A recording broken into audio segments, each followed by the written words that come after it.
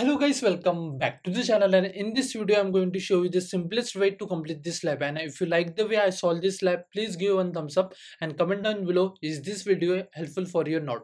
So first of all just log in with your local credentials and once you're done with this just simply come back over here. Now the first thing that you have to do you have to just enable this development mode. Just simply click on this toggle.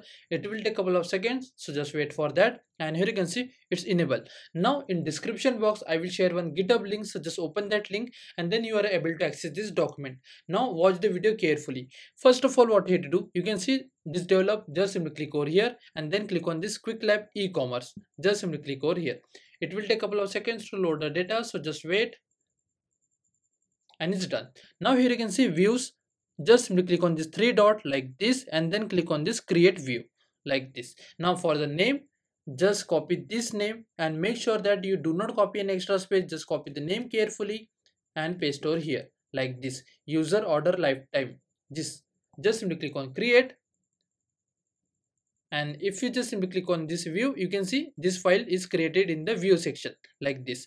Now just remove all this content like this. Now copy all this content. I will recommend you just copy from the bottom like this way like this. Just copy all this content paste over here like this then click on this save.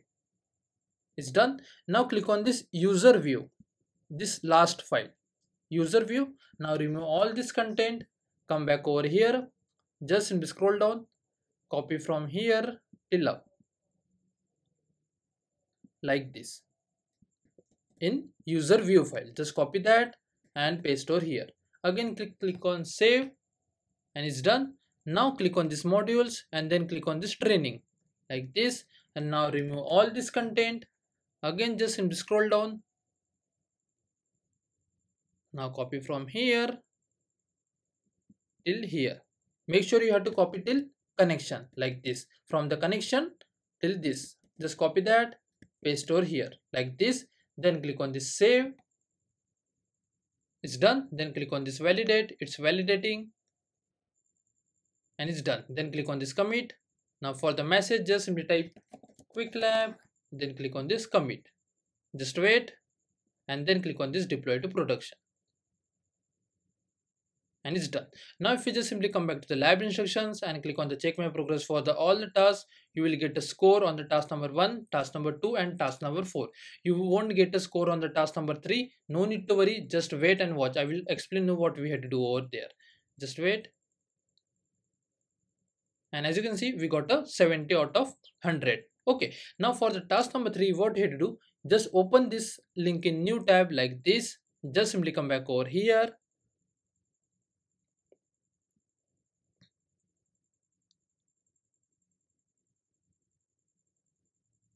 Then click on this explore option and then click on this order items like this. Now just wait. It will load the data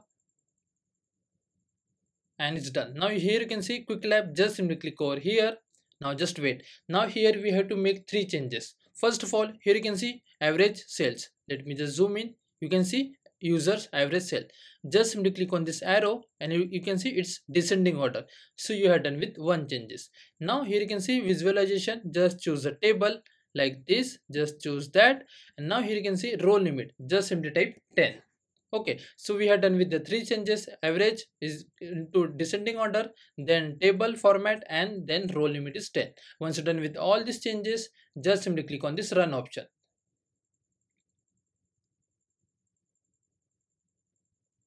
And it's done. Just wait. You will get output over here. And it's done. Now what you have to do? Click on this gear icon then click on this save and save as a look this third option you have to choose that. Now for the title just simply come on the task number three. Scroll down a little bit and here you can see from the point number 8 this point number 8 just copy this name. Okay make sure that you do not copy that full stop. Just copy the name carefully and paste over here. Like this then click on this save and look view. This one not save. Save and look view. Just simply click over here and it's done. Just wait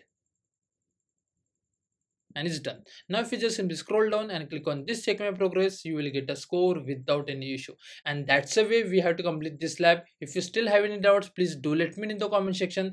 Thanks for watching and have a good day guys